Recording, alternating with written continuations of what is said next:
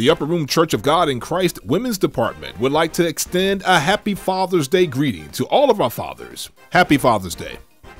Everyone is encouraged to join us for Tuesday night service, June 19th at 7:30 p.m. in the multipurpose room. The speakers will be Elder Jonathan Jones and missionary Marlene White.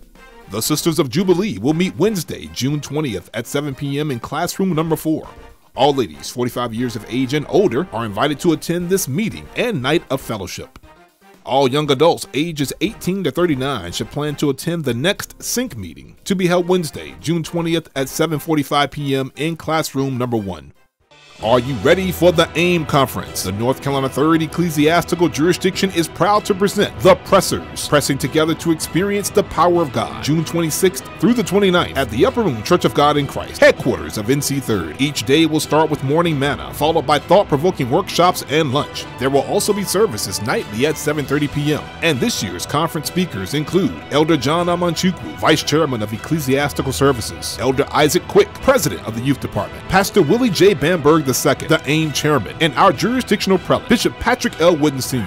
Set me free so that I can win somebody else.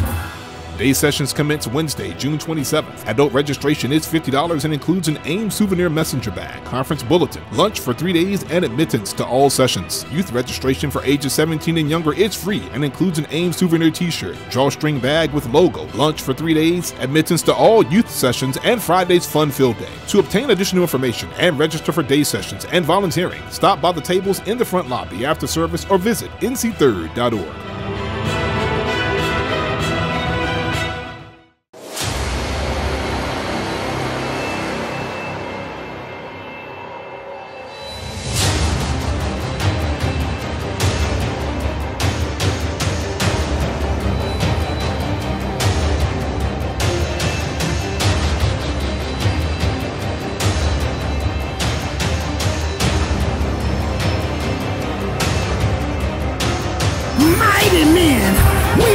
things happen.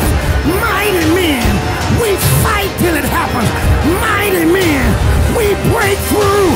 We pray through. Good God Almighty, I want to hear some men give God a breakthrough praise.